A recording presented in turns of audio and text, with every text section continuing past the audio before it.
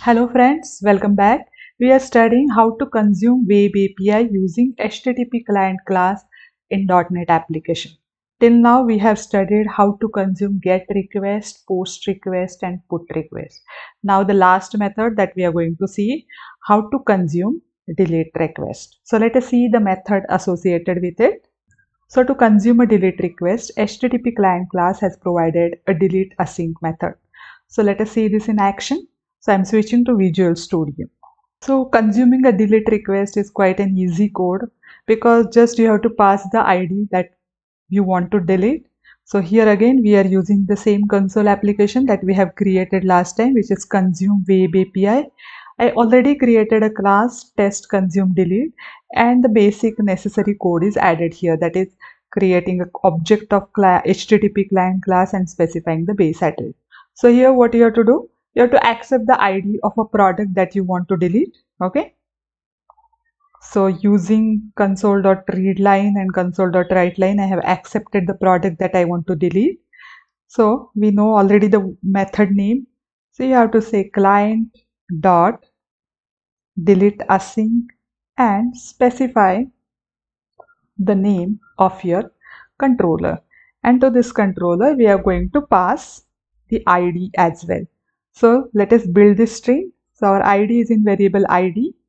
Either you can convert it to toString also, otherwise it get converted, no issues. And we are going to collect the result. So var delete task. Okay, again this is an asynchronous method. So we have to say delete delete task dot wait. After that collect the result Again, rest of the process is same as we did it in post and put. So after deleting task complete, we have to collect the result.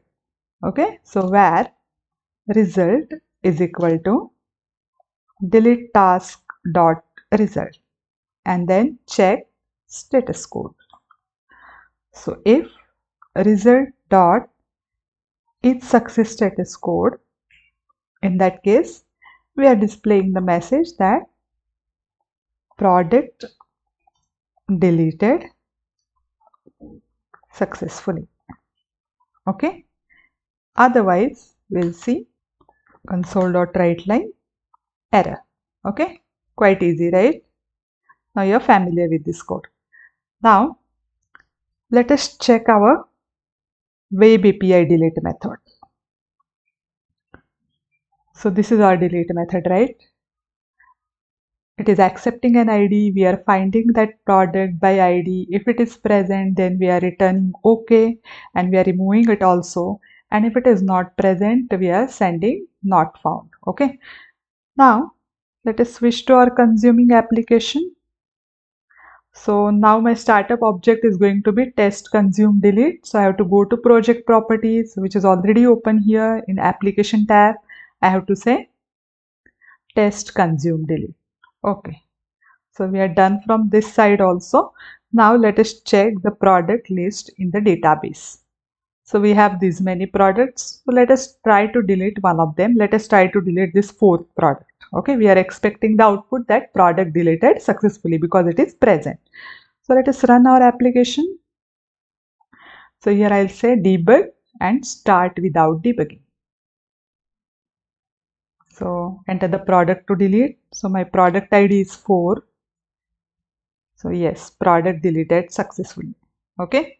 So again try to run this with invalid product ID. Again I'll say start without debugging.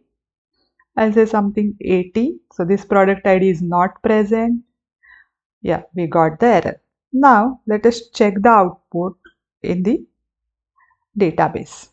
So now the fourth product is present here. We deleted it. Rerun this query. Yeah. That fourth product got deleted. Okay. Now again switch to our consuming application. Initially i forgot to mention one thing. So whenever you are trying to consume any request make sure this package is installed. And i already told you how to install this package in consuming get request video so I hope you enjoy this and you understood how all the requests are consumed using HTTP client. Let me know if you have any concerns, doubts or questions. Thank you for watching.